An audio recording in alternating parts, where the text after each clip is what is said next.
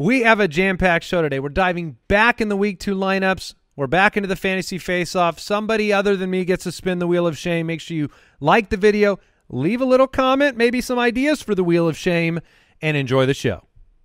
The Fantasy Footballer Studio is brought to you by Samsung Galaxy. Visit Samsung.com to learn more.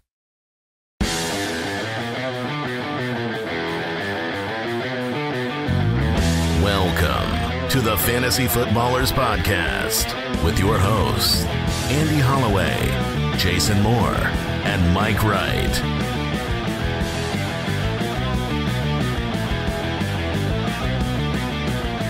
Oh, welcome in.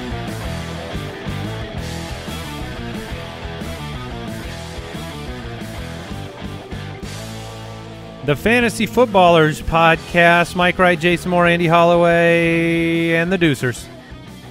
Back for another spectacular episode. Friday, September 16th. More matchups. Week two of the fantasy football and NFL season is at hand. We have one game in the books. We will be talking about it. It was a fun one. It wasn't the high was- scoring affair that I hoped for. It was sketchy. The- It was it, it- the pass rushes for both teams caused significant issues for those big, big plays down the field. I really don't like when great offenses have great defenses. Let's get that out of here, okay? I want, you know, all these pass rushers uh, coming to the the AFC West. That's nonsense. Okay, there's great quarterbacks there. Let let's protect them.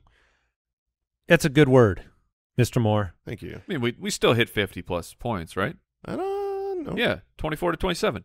Okay. Well, that Ma- did. Uh, you math did it. checks does the out. math check out? Math checks out. It kind of got there in the end.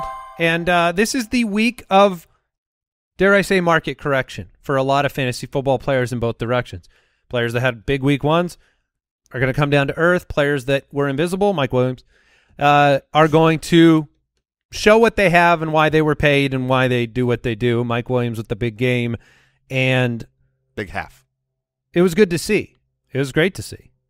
Uh, so thankfully, it seems that Justin Herbert avoided serious injury. That was frightening for a lot of fantasy players. If you have Keenan or Mike Williams or Austin Ekeler or obviously Herbert himself, if he, if he went down to major injury, that would be a problem. Yeah, I, th- I think we're awaiting more information. The X-rays were negative, so he does not have broken ribs, but obviously he was hurt. I mean, he, he- Yeah. there was the play where you know it was like third and two, and he could just walk to the first down, and he's like, I can't do yeah, he this. he couldn't it, he could barely throw the ball away and looked like a completely broken man. And we're all in our slack like take the guy out of the, if if you can't pick that up, you're hurting your team. You need to get him out. And of course, the next play, he the just dot to DeAndre Carter. rips a dart down, down the field. You're like, oh, well, I guess he should be in. It was like he was went so conflicting. 50 yards down the field and handed him the ball. Yeah. It was the most perfectly thrown. and then a fourth down touchdown to completely change the betting lines in that Yeah. game to uh, Joshua Palmer. yeah, which um, all the Joshua Palmer truthers, they s- a sigh They- of yeah. relief because Yep, they snuck in. did not have a good game and then uh, had a had a good game. It was fine, yeah. So, um, And then, well, if, if we're still, yeah, let's just we're stay- already in the game. We can just stay in the game. That's fine. All right, Austin Ekeler. How you? Yeah, okay. Jason has pushed the microphone away from his face. We were talking about him earlier in the week, and it was like Austin Ekeler versus Saquon Barkley, and we talked about well, Ekeler now has two other guys getting on the field, and it's not they didn't get a ton of work. Joshua Kelley had four carries, Sony had four carries, except the goal line carries went to Sony Michel, include like, and Sony Michel had one where the first effort to break a tackle was extremely nice, and then it was the some of the laziest goal line running I had ever seen. It looked like he would for sure have an incredible play, break a tackle, and just walk right in. And then the defense smothers him, and he goes down. And you, if I'm a coach, you're out. You're you're not going back into this game. You're not getting another goal line carry. Uh, but that's not how they did it, and they went right back to him. the most upsetting uh, moment of this, and I, I drafted Austin Ekeler. And for the record, I did offer the trade before this game for Barkley. I, I went it- through with it, and it was not I, I told you it would get turned Um, down. So, uh, but so Sony Michel, they got down to. I think this was the first time they got to the goal line, and Sony Michel was in. And I was like, "What?" And then, thank goodness, it was the end of the quarter. So I'm like, "Okay, they can Ah. make the personnel Right, right, right. change, and you know they they got to walk to the other side of the field. So get Ekeler in there, and then they walk all the way down to the other side of the field, and it is just, the new, next quarter starts, and Sony Michel, what? Well, I, Austin Ekeler had 20 red zone touchdowns last year. So if you go through two games and he doesn't score and he doesn't get red zone opportunities, there's going to be panic in the streets. Now, we had 10 targets. He was the leading receiver. He, yes, and uh, I mean it was not great until there was some some garbage time there. Well, not garbage, garbage time, but you know, what?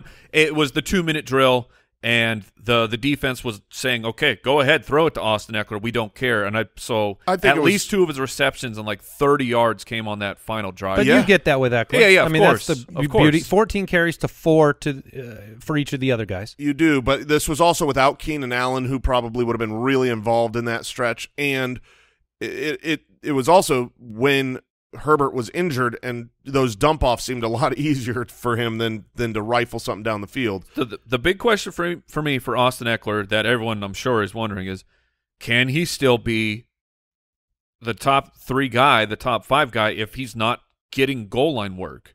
And to me, it's no.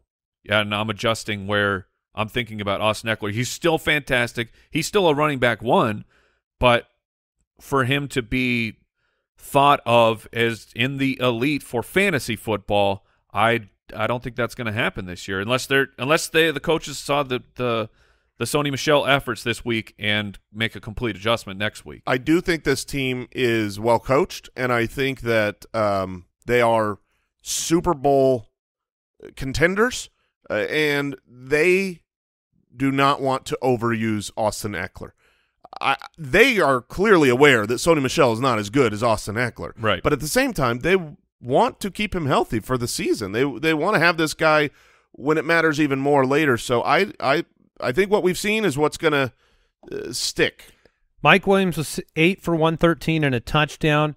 If you started Gerald Everett, you were very happy. He once again looked very good. 10 targets, six for 71, and Until the interception. he was. Uh, oh, you're saying because he. when he was tired. Yeah. Uh, If you didn't see the play, Gerald Everett had a, a monster uh, catch, car- just dragging people. Unfortunately, did not get into the end zone.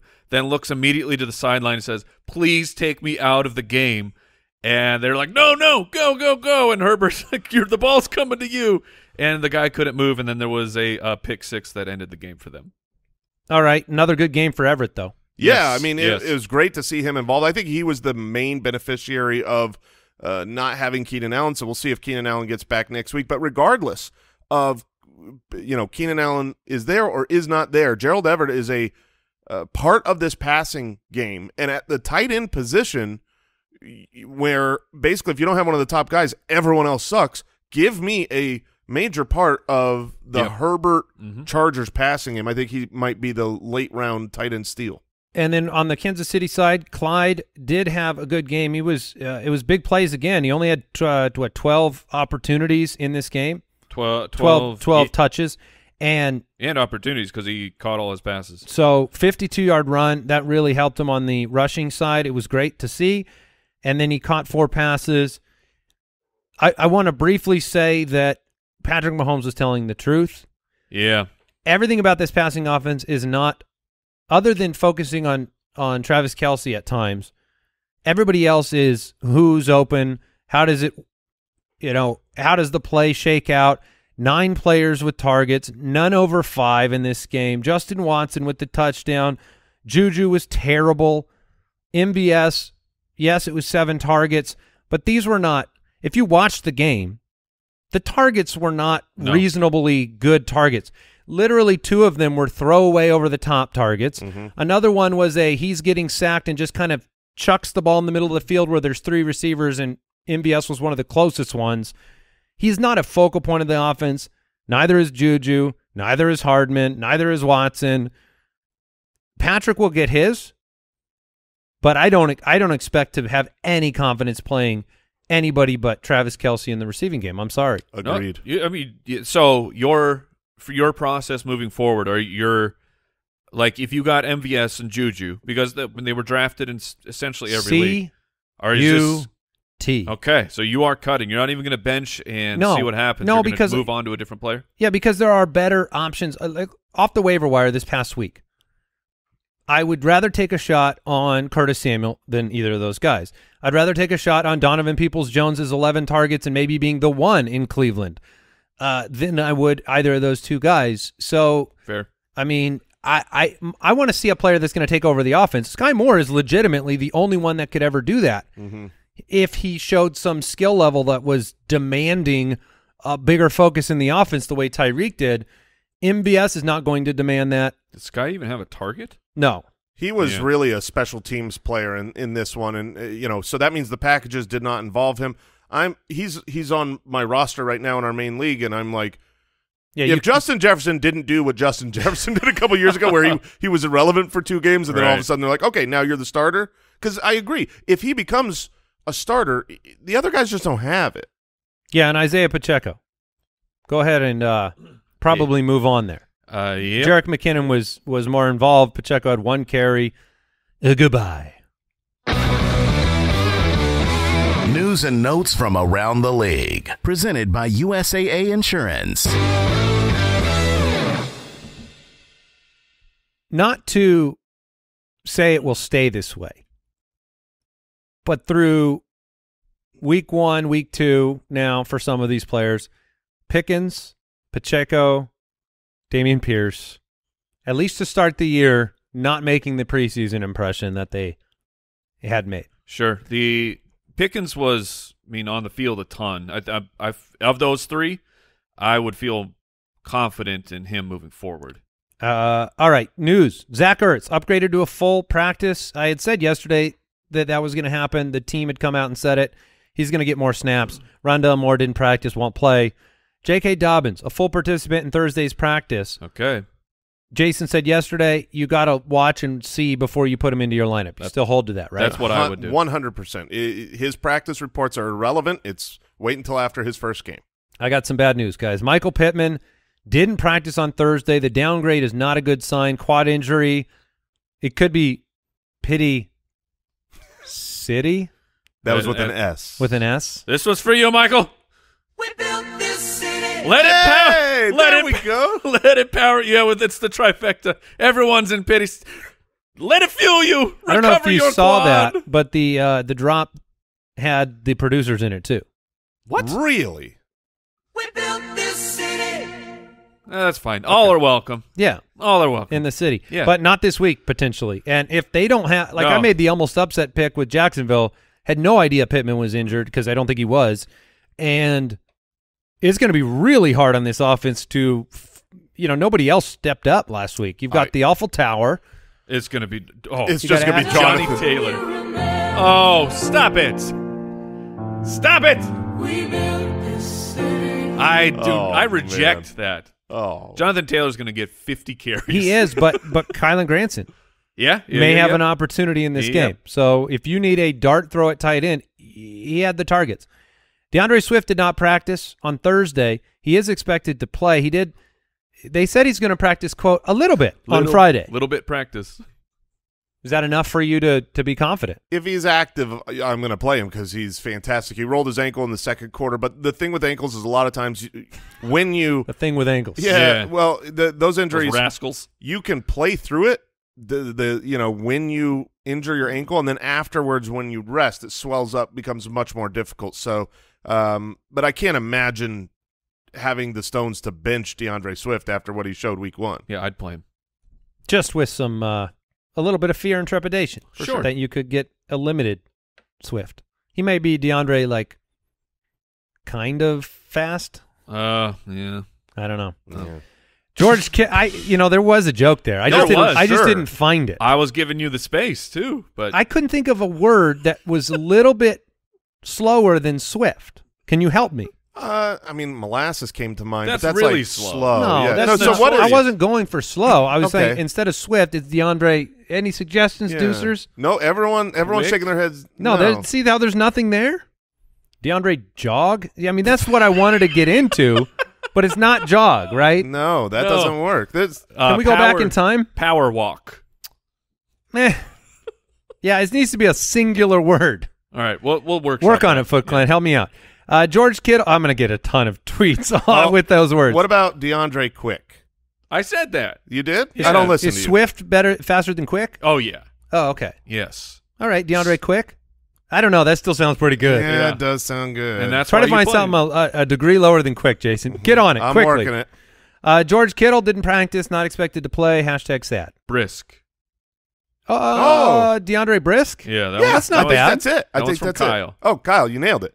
All right, we did it, everybody. Group so, effort. so that if I had said that, I wouldn't have Oh. gotten the. Uh, That would've been a home run. No, I. th- They would have. They would have certainly applauded.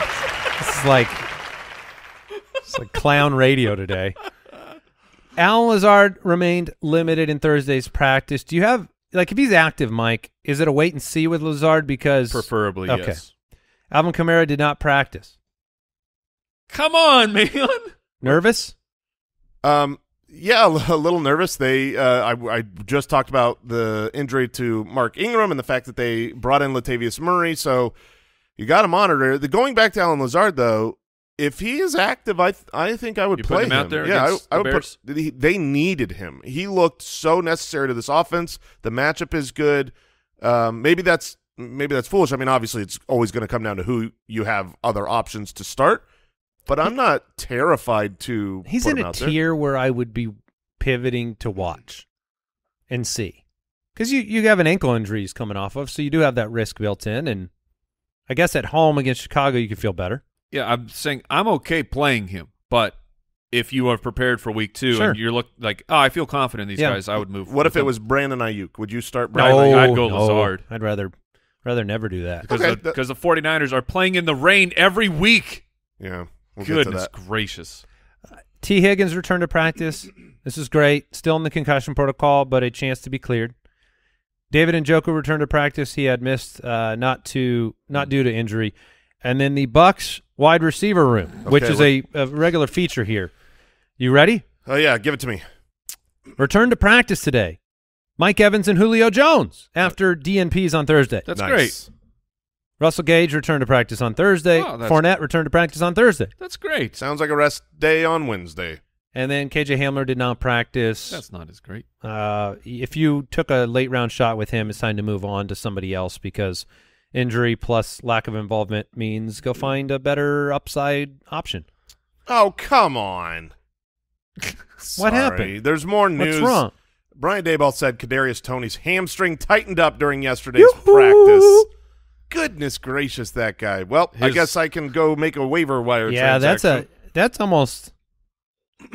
It's hard to to paint the picture of involvement now. Uh, I, I I do think later in the season he gets healthy. He is the Yeah. best wide receiver, but it's very difficult after him not being involved, only getting two touches last week. Yeah, this is If no he's good. currently injured, he's not going to get the involvement this week. Then you're not going to play him until after he gets involvement. Yep. So I don't think he should be a roster clog. Is my point. I I I'm going to look at the waivers and see if I can pick someone else that can help me now.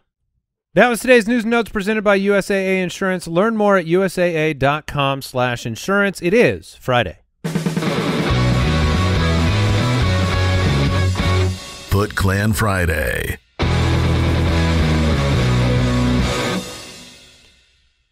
All right. Our weekly giveaway to supporters of the show at jointhefoot.com, giving away a $100 gift card to fantasychamps.com for trophies, belts, swag for your league. The winner, Riley May. Congratulations. Yeah. You're the real fantasy champ this week. Get yourself a ring. Congratulations, Riley. Yeah, go swag out over at fantasychamps.com. Quick break and into the forecast.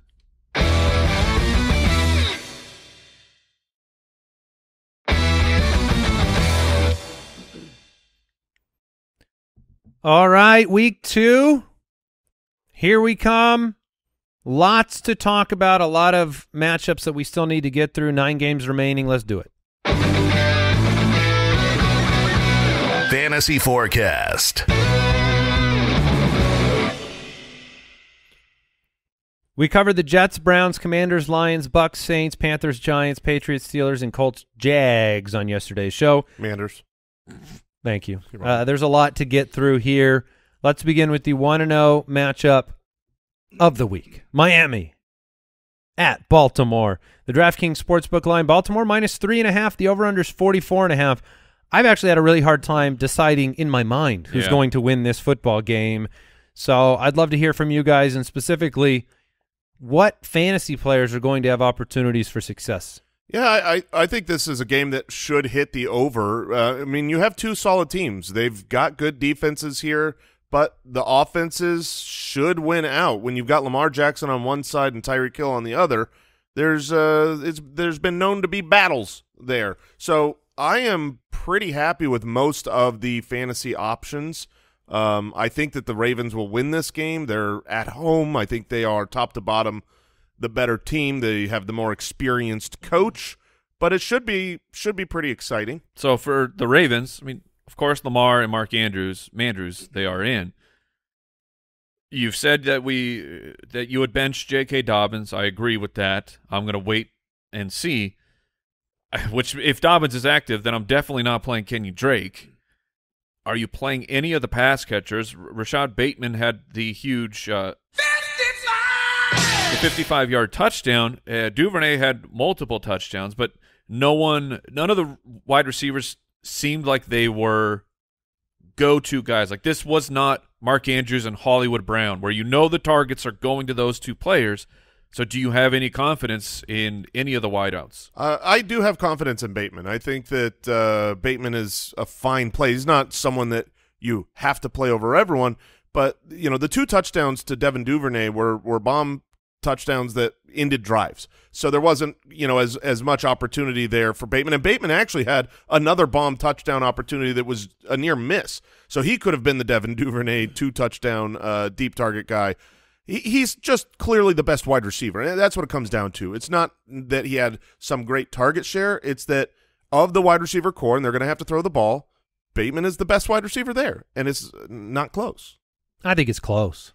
Yeah. Between him and Yeah, I don't think that there's anything definitive to make that claim. Uh, time will time will tell. But I, I mean, Devin Duvernay's had a long career of doing not much. Uh, Same with Bateman. Bateman Not a long short career. short career of Yeah. not doing much. I mean, Sorry, Bateman was a rookie career. last year who was injured the first half of the year. I just then- didn't see anything on the field that made me think Bateman was better than Duvernay.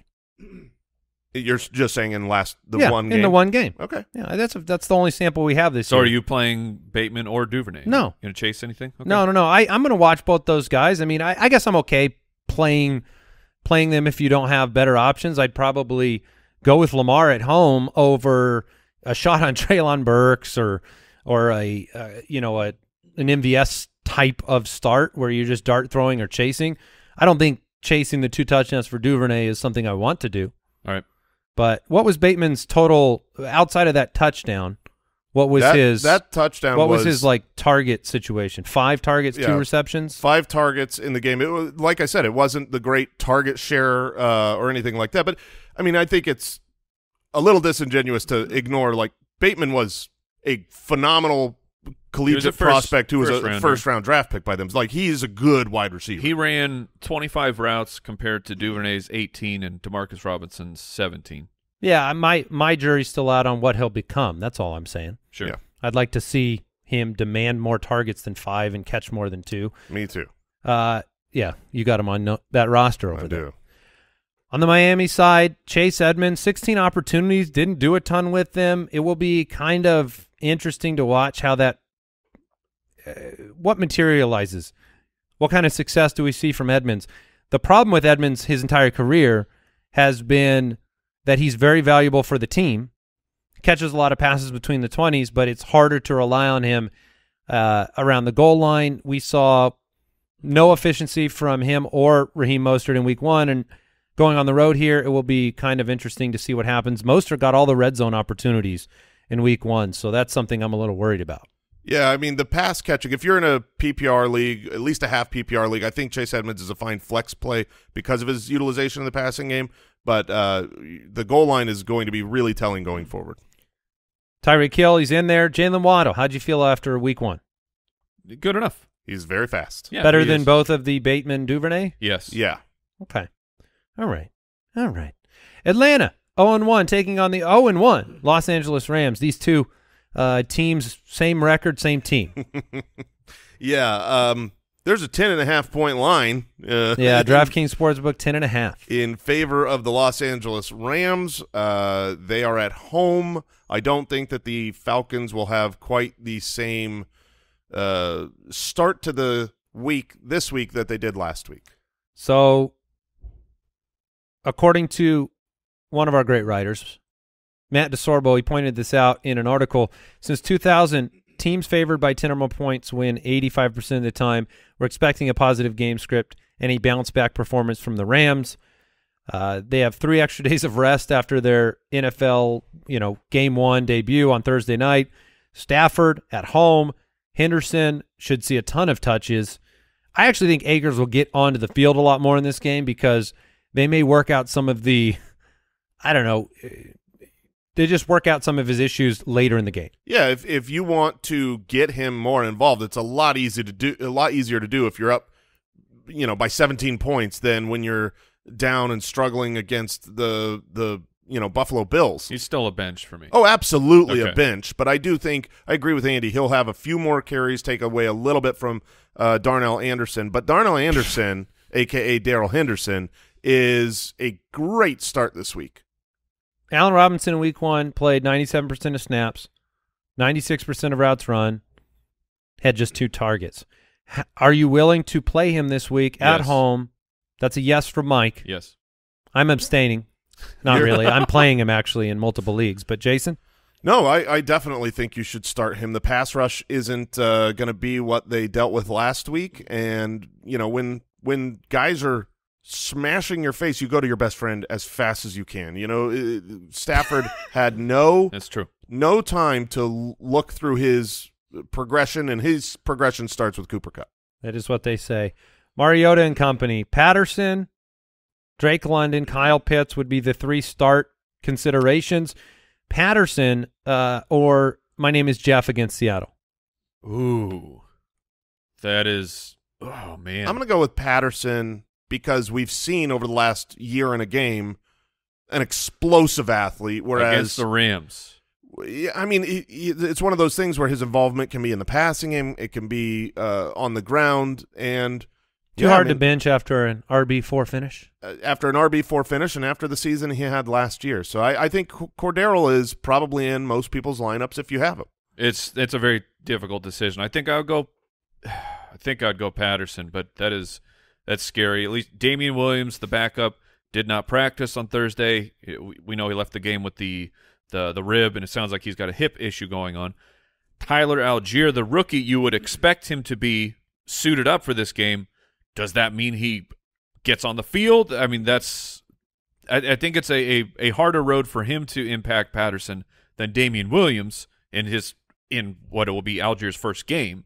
So it, I think you can feel confident in the workload, but a running back against the Rams is uh, that's not really where I want to be. Also, I want to bring up Marcus Mariota. This isn't the week to play him, but he looked good. Yeah, I thought he, did. was a competent uh, quarterback, and more importantly, he ran the ball a ton. He had eight designed runs. Okay, these aren't just scrambles and like you're not able to rely on it.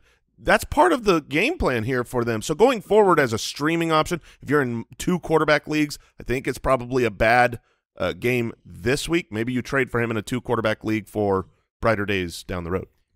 All right, and then Drake London.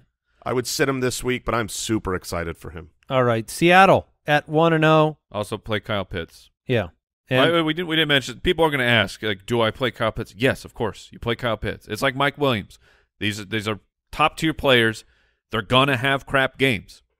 Just- Everybody does. Just go. That sucks. That it really really sucks when they have a bad game, especially week one.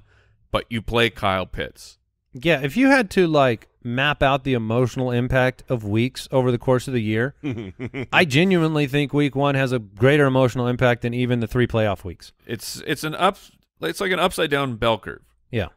Seattle 1 and 0 taking on the 49ers. In San Francisco. The DraftKings Sportsbook line: San Francisco minus eight and a half. The over/under is forty-one. That gives San Francisco a uh, almost twenty-five points. Seattle just sixteen. The 49ers defense in Week One, uh, it didn't give up a lot of fantasy points. It was the slosh game up in Chicago. They lost, but the the production, like there wasn't anybody on the Chicago side that you would have been happy playing. So I just don't expect a lot out of Geno Smith and company going on the road. Heavy favorite 49er team.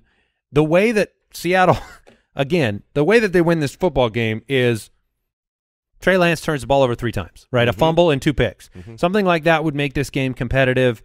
We haven't, we, we know it's going to be rainy, mostly in the first half.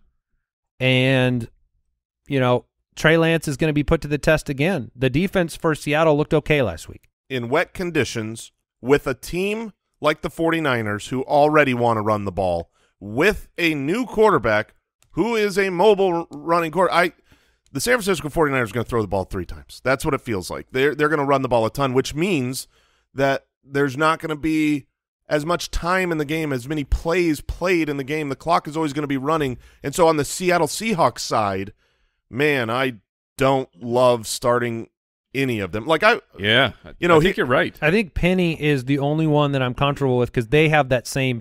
They're gonna have the same philosophy, and he had success in Week One, where this game may be won on the ground, and both teams commit to that run. But you, we do have Kenneth Walker, second round rookie running back for the Seattle Seahawks.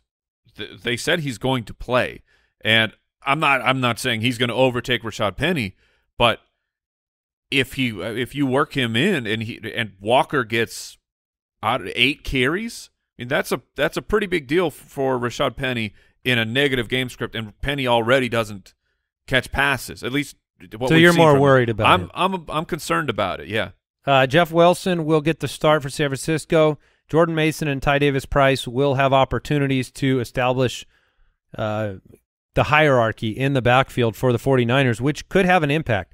The the biggest uh, thing I'll be watching is how successful is Jeff Wilson on that first and second down opportunity because if there's a big difference between some of these rookies and him, you've got enough weeks before Elijah Mitchell's back to where you could see some transitions happen. Sure. You want to add Mike last week added Jeff Wilson on Sunday morning.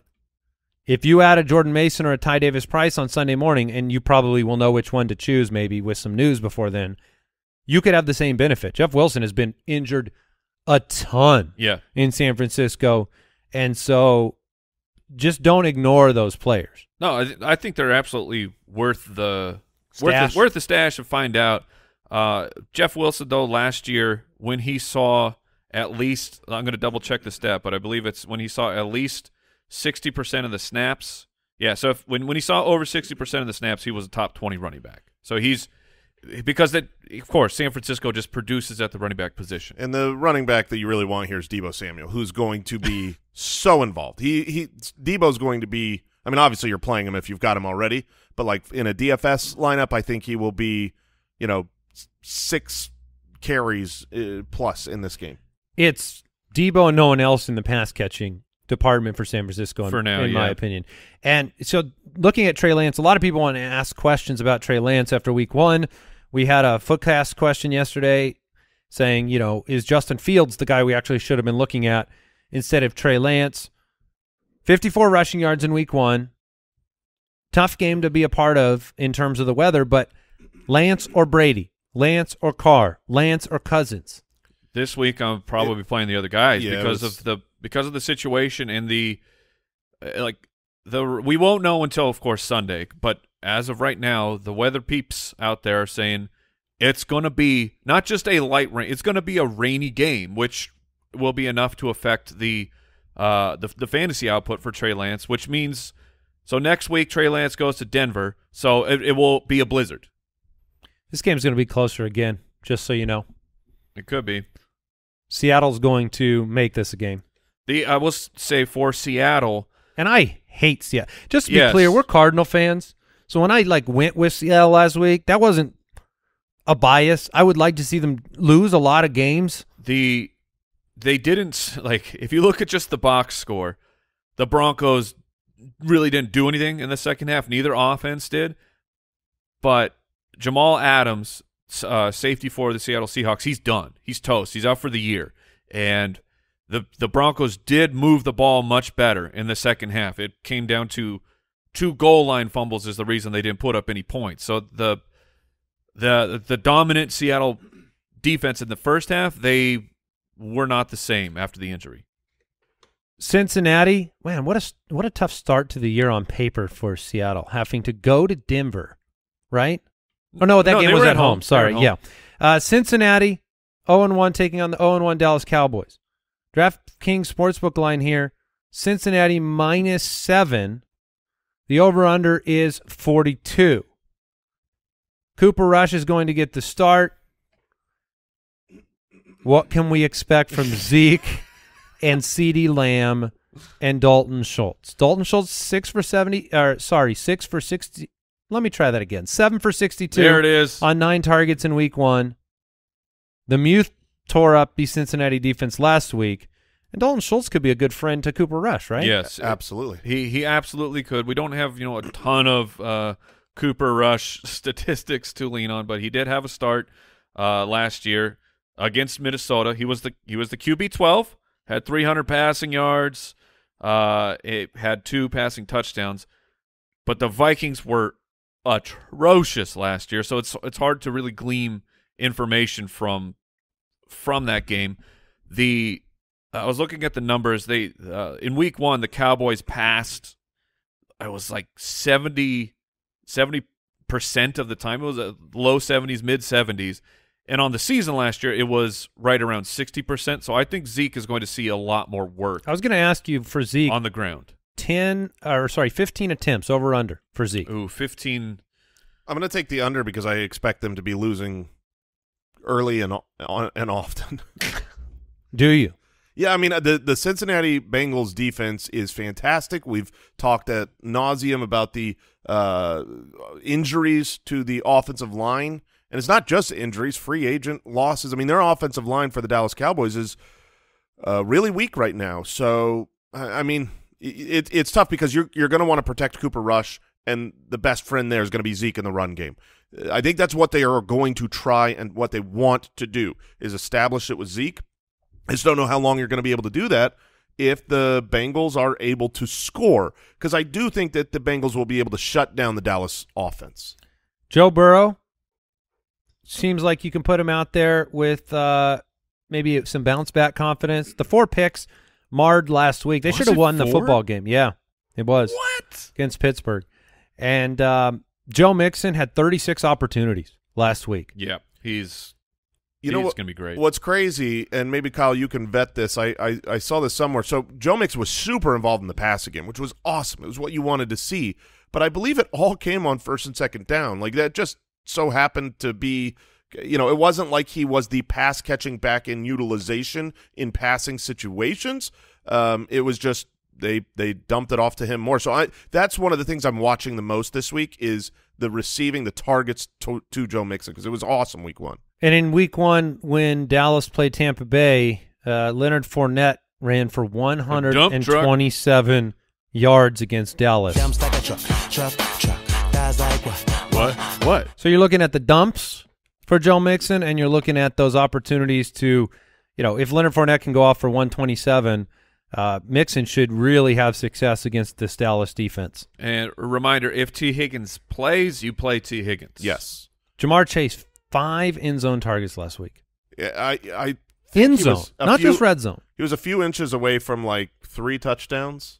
It's crazy. per was- quarter. He was one uh, one uncalled review. Yes, he was away a red flag away from a touchdown because he scored a touchdown. No, uh, I mean Ja'Marr Chase is always uh, a an unstoppable force. The Houston Texans at zero zero and What, one. hold- uh, sorry, CeeDee Lamb. you thought we could go without talking about No, it. yeah, we- we're here for the tough questions. Lamb or DJ Moore? I'm going to go Lamb. I- Allen Robinson or D, or uh, CeeDee Ooh. Lamb? That one. Uh, oh, I'm going to play Allen Robinson. Yeah, I'm going Allen Robinson in that. I'm gonna Um, play CeeDee Lamb. I think I'm going DJ Moore over CeeDee Lamb as well. Bateman or CeeDee Lamb. CeeDee Lamb. I'm going to take CeeDee there. Yeah, okay. Michael Gallup has been ruled out of this game. The Texans at 0 and 1 take on the Broncos, who are 0 and 1. Another, there are some real heavy favorites this week. Yeah. Uh, the DraftKings Sportsbook line, Denver at home, Denver minus 10. The over-under is 46. This is not one I'm going to go out and think that I think Denver wins this game by two touchdowns. So uh, I wasn't in on them last week. I think they're going to bounce back in a huge way. They had the mistakes on the goal line. They did move the football. Russ still went over 300 yards. And uh, unfortunately for me, as I am facing him this week, Russ is going to cook at home. Uh, you know, 42 pass attempts last week. He's not a takeout guy. He's a home cooking. Oh, fella. okay. DiGiorno's type Yeah. of oh, quarterback. Yeah, yeah, because it's Got not it. Delivery. Uh, do you guys disagree? I mean, is Russ no, a strong no, start no, this I- week? I, agree. Yeah, Russ is a strong start. It's a good, easy matchup, but I do think that um, this will be a running game in the in the end. The ten point home favorites are going to go to the running back, and while that might seem like oh Javonte Williams smash game, Javonte Williams was clearly established as kind of the pass catching back. They came out and talked about that as well. So I, I actually think Melvin Gordon is a great play this week and could be the stronger fan. Like I wouldn't start him over Javonte by any means, but it won't Could be end so- up that way? Absolutely could end up that way. Yeah, it's a good point, especially if this game's out of hand and they give him the ball a lot in the second half. He looked good. I mean, both players were able to run the football last week. Uh, Melvin had, I think, 12 carries. I think he had 12. Melvin had 12 carries for 58 yards. Yeah, I mean, still Melvin Gordon, it seems. Courtland Sutton, Jerry Jeudy, are both of them in your lineup? Yes. Mm-hmm. Are you messing around with any of these Broncos tight ends? Salbert Okwuegbunam getting a look this week, or are you just going to try to find somebody more? Jason shaking his head no. No, I, I, I, I'm not. Not in this matchup where I don't think they're going to throw as much as they could in a in a more competitive divisional game. The Broncos defense last week, number one against wideouts in terms of fantasy points given up, number two against running backs. And they lost Rex. Burkhead, Dameon Pierce. Rex Burkhead, Dameon Pierce, what do you do? Uh, I I bench both of them. I'm not excited. I think Dameon Pierce will get more involved. The coaching staff talked about having him be more involved. Rex Burkhead certainly. I mean, you can't possibly start Dameon Pierce. He was the clear and utter backup. Agreed. You have to see something first. So the question is, can you start Rex Burkhead, who had so much utilization that usually that utilization means yeah, you could start him. Plus, he was the passing guy, and when you're down ten, that could work out. But no, I I think this is a really good defense, uh, making their home opener. I'm not starting Rex Burkhead or Dameon Pierce. Uh, last week, even though he did not finish in the top 24, Brandin Cooks was fine. He was 7 for 82, didn't score, had 12 targets, and It's a great play. yeah, that's what I was going to say. The, the game script says Brandin Cooks will be targeted 10 plus times again. Every game is a great game for Brandin Cooks to, and obviously you're, started. you're chasing uh, O.J. Howard's two touchdowns. Oh, I mean, two touchdowns, baby. No, Okay. Moving on, the Arizona Cardinals at 0-1 travel to Las Vegas to take on the Raiders, who are also 0-1. The DraftKings Sportsbook line, Las Vegas minus five and a half at home. The over one, the over under is a nice 51.5 points. Las Vegas was number one in neutral pass rate after week one. That's lovely. That's Yes. the Davante Adams factor. Arizona number one in no huddle rate since Cliff has come to town. that's great. Now, I don't want to presume of this matchup the way we have we've Maybe they tried to do maybe They should try to huddle more. But they, but Cliff doesn't have anything to say. Oh, They'd be, it'd be in the huddle and just be like dead air on the, on, on the helmet. Just be stock tips or something. Cliff, you there, buddy? You guys are brutal. You guys are so brutal. He sucks. Well, yeah, I mean, I had to watch that game, and it was brutal. Um, It was offensive. can we blame Kyler for that? Because he didn't A look, bit. he didn't look great. Yeah, no, I, I think, uh, I, you know, I was on the radio this morning talking about how Kyler is a big concern because early coming into draft season, it looked like he might be the next guy up behind Josh Allen. He's in that conversation. Now, you got, uh, he's, you got Mahomes and Herbert and Lamar and Hurts all clearly ahead. Like, I would rather start all of those guys over a Kyler, and Kyler's going to be fine for As a, fantasy. as a fantasy, Yes, for for for fantasy purposes, um, Kyler's going to be f- fine because he runs. Would you But- play Burrow or Kyler here against the Raiders defense? Because I think I still lean Kyler there. I lean Kyler because of the rushing and because of the pace of play. There should be a lot of actual plays in this game. I mean, that's something you look for for fantasy. That not every game has the same amount of snaps. And hopefully Kyler is true to his word of when he gave the comments of I need to target Hollywood Brown 10 plus times cuz they've they would have much more success on offense if they could figure out how to get Hollywood Brown their best wide receiver by a uh, by an infinite amount right now. If they can get him 10 targets, they will move the ball more. Yeah, and I, I actually think James Conner is still somebody that I am keeping my eye on in terms of acquiring. Oh, Sure. I wasn't sure where you were going, and I, I thought you were worried. And I, James Conner is, I completely agree with you. His utilization was phenomenal. The end of that game gets weird, and so you saw more, you know, Benjamin, and rightly so. Like, don't get James Conner injured, but uh, he looked like the workhorse back that he was when Chase Edmonds was missing last season. So uh, certainly target him. I do think Zach Ertz will get some work in this game, and so he'll be back on the field for more snaps. I think he's sneaky. If you need somebody at the tight end position, I'd be playing him over in in an Njoku tier. hmm Uh, I don't know if you guys agree with that. No, I I, do. do. I do. What about the Dortch? Uh, the Dortch is interesting. The, this being Greg Dortch. Um, what do you think of this, Mike? The human Dortch. Okay. Okay. That comes from a Foot Clan uh, That's not listener bad. yesterday. That's not bad. We weren't sure. Yeah. Jason really likes hitting the Dortch, Yeah. Yeah. you know, really loudly, Yeah. and and so the what human a Dortch? yeah the human I like Dortch that takes more. it away.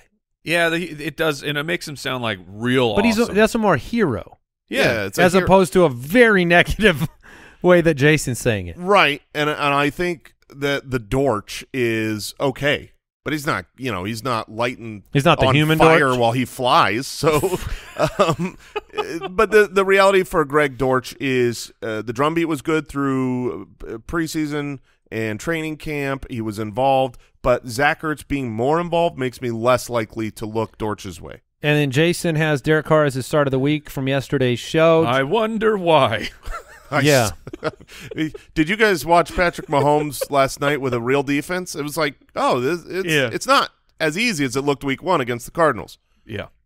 Derek Carr, Yeah. congratulations. Yep. Two and a half touchdowns for Derek Carr. They- that- that's exactly what he's going to have. um, yeah, I'll go over. How do you pull off the half touchdown? You the ball gets cut in half midair. Yeah, it's never been That's done, but probably the last answer I expected, Mike.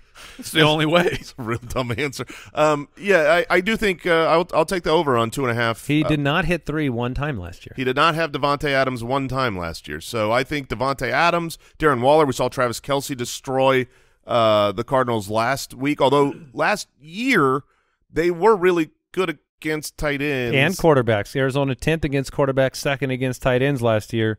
Linebackers should be a strength, like the only one on defense. So it was really surprising to see uh, how good Kelce was last week. But there's no one, no one that can guard Davante Adams on the Cardinals roster. All right, so play him then, huh? Oh yeah. Davante Adams, you're you're starting him. Yeah, Yep. I mean, uh, he, he'll have a hundred and one guaranteed. Wait, the forty nine percent target share is that accurate? Forty nine percent. Yes. Come on, Derek Carr. What are you doing? He's doing what every fantasy player has always dreamed of doing. They asked their quarterbacks that you you would always it's what it's what uh. Aaron Rodgers did in the playoffs. It was like if I can if I throw it to this person, I always succeed. Should I do that again? No. It's We've- just wild. We've had those conversations ab- about like if I was a quarterback and I had one of these unstoppable guys, why don't you just throw it to him every play? Yeah, Matthew Stafford was listening too. Yeah. All right, Sunday night football. The Bears at one and zero take on the Packers at zero and one. DraftKings Sportsbook line another big one here. Nine and a half point home favorites. The Packers. The over under is forty one. The Bears are at that sixteen point mark. I I don't know if I man. I'm trying to think of what to do with my Bears. All right. I don't think that Justin Fields is going to go on the road and have success. I, I think he's going to turn the ball over to nullify anything he does on the ground. That's just my opinion. I think he may run the ball a little bit, but I think he's going to get nullified by turnovers. I think he'll finish. I don't. I'm, I I don't know about a QB one, but like that high end QB two, which is I, why I think he's in streaming contention. But then Montgomery, 21 opportunities last week. I think you play him, but you have lowered expectations against Green Bay. And then Mooney and Kmet are just I just don't like the situation for the Chicago this week. 16 total points projected in Lambeau. the Packers coming off uh, what I think is an embarrassing A loss. whooping? Yeah, they, they were embarrassed. They're going home. They've got a chip on their shoulder. Um, Aaron Rodgers owns the Bears, historically speaking. But did you see? Uh, did you, didn't you see Justin Fields do the the slip and slide? it was aw- that was awesome. I mean, you telling me that guy's not that guy's not awesome. not off Having the a good time? with swag? no, I honestly the I'm I'm not. He quite- celebrated like he hadn't won a game before. I, Uh, I'm not quite with close. Andy on the sense that I think Justin Fields is an okay fantasy option. I think he's going to run a ton. I'm scared of the weapons Mooney Kmet in this matchup. Uh, but uh, you know, it's one of those things where when they have a bad game, after having hor- horrible week ones, the managers who have had to deal with that are not going to be able to stay in it, but they should. Does that make sense? Yeah. Uh, the the place that I have places I have Kmet, I'm playing him, and the places I have Mooney, I'm playing him. Aaron Rodgers is a an interesting question this week. He struggled in week one, but I do expect him to bounce back in part by throwing the ball to Aaron Jones, my start of the week. He's averaged 88 yards and six touchdowns in four games against Chicago, speaking of Aaron Jones. And then getting back Allen Lazard, having a healthier Robert Tonyan, getting on the same page with some of these other weapons. I think Aaron Rodgers is a strong play this week. Okay. Do you disagree? I I don't. Everything is there that Aaron the Aaron Rodgers we know should come out in this game and throw. The MVP. It'd be the MVP, throw for 250 and three touchdowns, a, a normal Aaron Rodgers line. But if like if Allen Lazard is still uh, if he if he's out or if he's playing and he's like I don't know still you know 65% or so because he had an ankle problem, I I am concerned about the other weapons for Green Bay being able to get it done. Yeah, it comes down to Lazard for me. If Lazard is in, I think Aaron Rodgers is going to have an Aaron Rodgers game. Uh, if he's out, these these veterans, uh, you know, Cobb and Watkins, they just don't have it. I think he'll get it done regardless in this one. Monday night doubleheader. The games are overlapping. Why are you doing that to us, NFL? Dumb. What are you doing? They're like, what's the thought process here? I have no idea. Like this must be money. This must be like Well, season opener is usually you get the head to head, or not the head. I'm sorry, the back to back games on Monday Night Football, and it's great. And they're like, no, we'll go week two, and how about we we like have them playing at the same time, so you can't watch both. Tennessee at 0 1 taking on the 1 0 Buffalo Bills. Another big line here. DraftKings Sportsbook has it at Buffalo minus 9.5. Over under is 48. Josh Allen locked Yes. into your lineup. Diggs and Gabe Davis Yes. locked into your lineup. Question marks around the very limited work of Devin Singletary. He was so efficient, just didn't get a lot. And then Dawson Knox, entirely uninvolved, and yet He had to block. I was gonna, I was going to say he is not going to have quite the um, situation he had in week one on a blocking scheme, Yep. you know, plan. But what do you think about Knox? I, I'm putting him back in there. I mean, if you're like Albert Okwuegbunam, that tier, you know, David Njoku, Dawson, there's no way I'm going to those guys over Dawson Knox. Cole Kmet or Dawson Knox, I think is a that's a tougher one. Uh, wow, but Knox in between those two players has I would give the edge, the touchdown edge at like seventy plus percent Yeah. to Knox. Yeah, I I don't think that you go just based on one week. Uh, we we've seen Knox be a touchdown machine, so I'm fine starting Knox this I've week. seen Isaiah McKenzie hit waiver wires. That's f- and i the, he if he got the full Cole Beasley treatment of being just the only slot guy, then he would have been great. But him and Is there Crowder, a chance he gets that though? I mean, it's one week and he was coming off an injury. Uh, I, It's you know, possible, it- but- it's possible, but it it worked well, and I think it keeps two smaller players healthy. So the 60-40 split that we saw in the slot work, if that continues, it's really hard to rely on either player. Ask me McKenzie or MVS moving forward. Uh, Ask me anybody or MVS moving forward, and I'd love to get out some of my frustration. Uh, Derrick Henry, it's Yeah. going to be tough. on the road in Buffalo, but he's Derrick Henry, so he's in your lineup. Otherwise, I'm not touching another Tennessee Titan. That this game is simple. Nope, Yeah. it's it's a sit and watch. Treylon Burks. It was great to see the involvement he had. He's going to be good. I believe he's going to be good, and he will be the number one for this team by the end of the year. But it might take it might take a month. It might take two months. And Kyle Philips, the tar, the the other rookie targets per route king of the week, you know, forty three percent of his his routes he got a target, which is just absolute nonsense. I'm not playing him against Buffalo, but I'm I'm willing to have him on the bench and, and see what happens. Because if, if he does another monster target per route run performance, then I would be I'm okay playing him the following. Yeah, the I think Bills are he's- so good. I was gonna say I think he's actually going to get a lot of targets. They might not be valuable, but the pass rush for Buffalo is going to cause some issues. Um, Minnesota at one and zero taking on the one and zero Eagles on Monday night as well. DraftKings Sportsbook line is uh, what do we have here for the line? I actually don't have it in here. Uh, it's minus two. Over under is 50 and a half. So Philadelphia got through week one. Jalen Hurts had 90 rushing yards, no passing touchdowns. Don't Welcome to. Jalen Hurts. Yeah, don't need him. Don't care. A.J. Brown, 155 receiving yards in his Eagles debut, the fifth most by any player in his first game with a new team all time. Feeling very like Diggs' first season Yep. in Buffalo. And that's exactly what they hoped for when they got him. They wanted to unlock Jalen Hurts and allow him to level up as a passer. I mean, Jalen Hurts is an auto start. A.J. Brown is an auto start. The other questions here on the Eagles side is, are you able to start DeVonta Smith? Nope. Are you able to start Miles Sanders? With yes. with uh yeah, I mean it's a flex Miles as Sanders. a flex. Okay, so the, the previous game, two Monday night guys, Miles Sanders or Devin Singletary? Sanders. Uh I'm going to go with the heavier favorites. I'm going to go with Buffalo and Devin Singletary on that. Miles Sanders did get into the end zone last week, but he hasn't done it a lot, and I think Singletary will this week. That's fair. Is DeVonta Smith happy that AJ Brown's on his team? Yes. DeVonta Smith wants to win football games, Yeah. not be a great fantasy football asset. No, I, I, I, fantasy football out the window. Zero receptions though.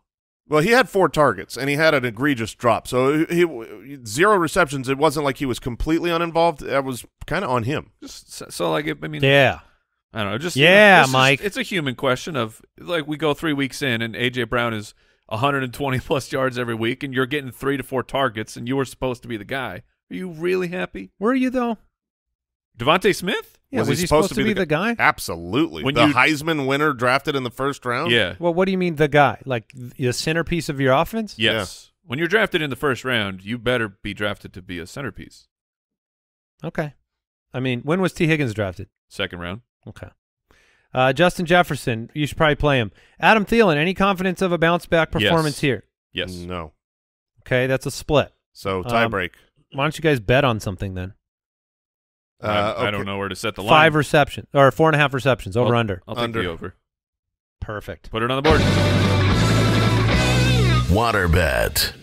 Excellent. That was that was really quick and easy. He played you. 100% of the snaps uh, when there was a drop back and two wide receiver sets. Adam Thielen is going to be involved. The Kirk Cousins and the Vikings had no choice but to throw the ball to Justin Jefferson because that's what the Packers wanted them to do, apparently. No, based because on their, Justin Jefferson is fantastic and always open, and he's fantastic in this matchup, he and was he'll fan- be open. He was fantastic last year, and Thielen was still part of it. The Eagles uh, against the Lions last week, they gave up the most fantasy points to the running back position in football. Dalvin Cook is a uh, a smash play here, and Yes. then even the wide receiver position, the Eagles gave up a ton to the options in Detroit. So Thielen will have a shot. It's just whether Jefferson is as greedy as he was last week. And then Yeah. Kirk Cousins two and nine on Monday Night Football games. You playing Kirk Cousins or Trey Lance? Kirk Cousins. Yep. Going Kirk Cousins, uh, he's had some big games even in losses. Um, Irv Smith is not someone that you could play right now, Nope. but he is someone that you need to keep an eye on to see. They they planned for him to not be very involved last week, and see if the plan is to get him more involved or not. Yep, you got to pay attention to it. Fantasy Face Off. Presented by DraftKings. Oh, it's quickly becoming everybody's favorite segment because, uh, well, it's ridiculous. Andy versus Jason versus Mike every week on DraftKings, the fantasy face-off. The loser spins the wheel of shame, and um, well, Man. week one in the books. Uh, if if you didn't hear the story from week one, it was the closest we've ever ever had. I mean, it was two points separating last place from first place, and it came down to the last of the last plays. I needed a two point conversion from Saquon Barkley. I got it. So, Mike, you were all three of our lineups were great, but you were last. Yeah, mine was not great enough. Uh, also, um, I was the winner. You're the loser. Wheel of Shame. You lucky man. You get to spin it, Mike. Uh, spin the wheel. All right, The anticipation builds. it's clicking. We got. I saw a hippo, uh, cyberpunk. We got a horse face. oh man. okay, so I I know Not what very this, neighborly of us, I Jason. know what this will be. Yeah. Give me the. I think it's gonna be a horse face. That's if I had to guess. I am a little worried whether Mike can get the horse face on. Oh, nope, not worried anymore. Oh mercy! Ah, you look stupid, loser.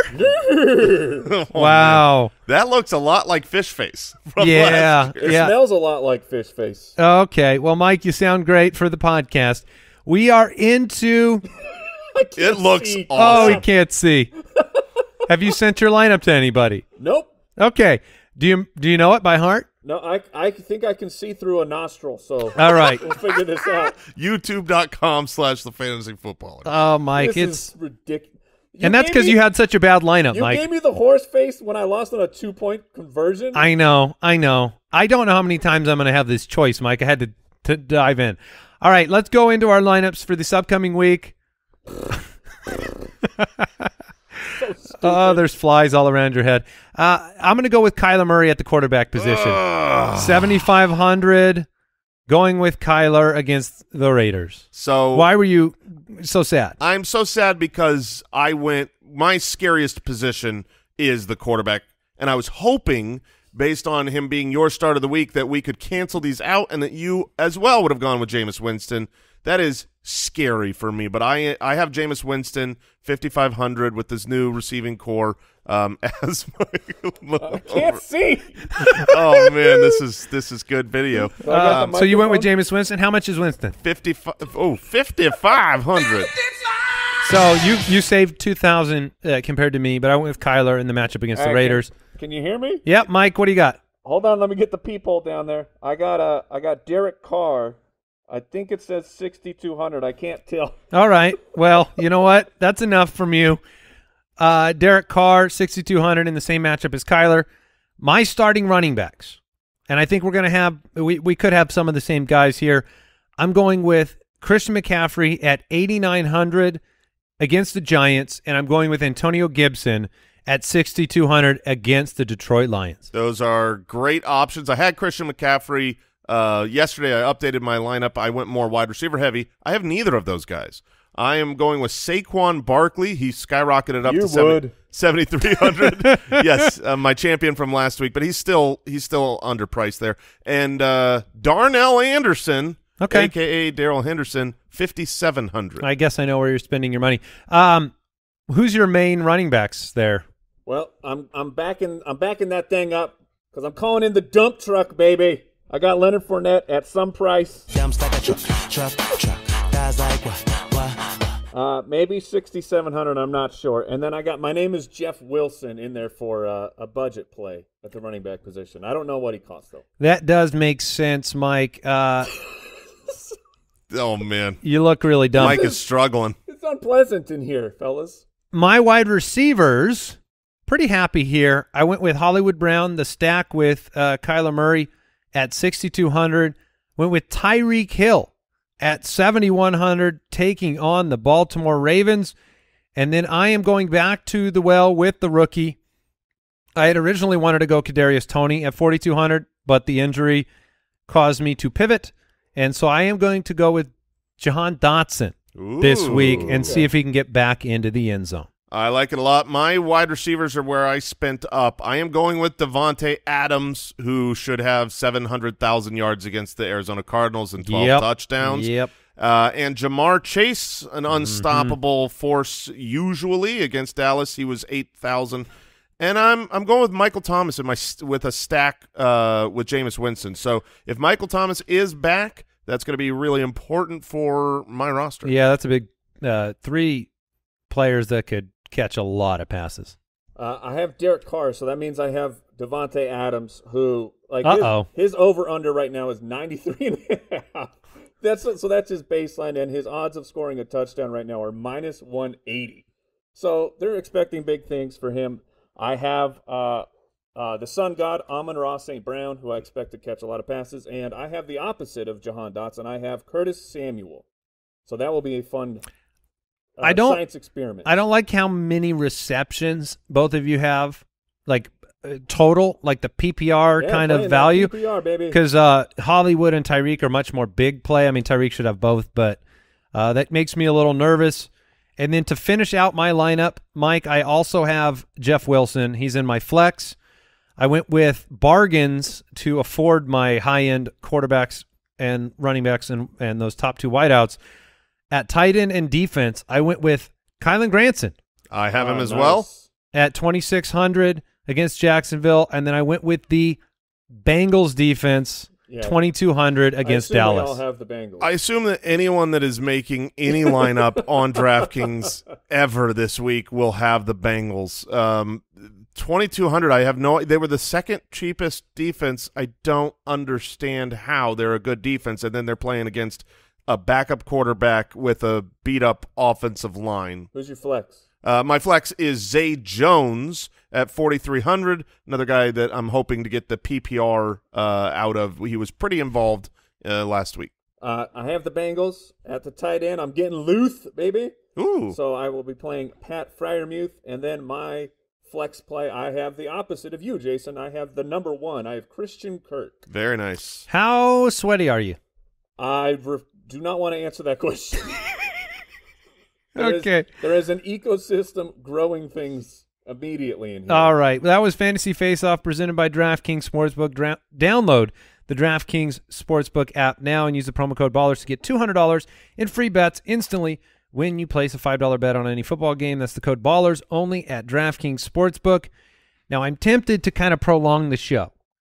Mm, yeah, let's talk a little bit more. I thought once the segment was done, I could bail Uh, out. yeah, no, well, the segment's not quite done because I want to talk about uh, Darrell Henderson. DraftKings Sportsbook's uh, over underline was 14 and a half carries, 83 and a half yards. Why is this music playing? I've got a lot to talk about here, Mike. All right, Footclan, enjoy the weekend. Goodbye. Thank you for listening to another episode of the Fantasy Footballers Podcast. Join our fantasy football community on jointhefoot.com and follow us on Twitter at the FF Ballers.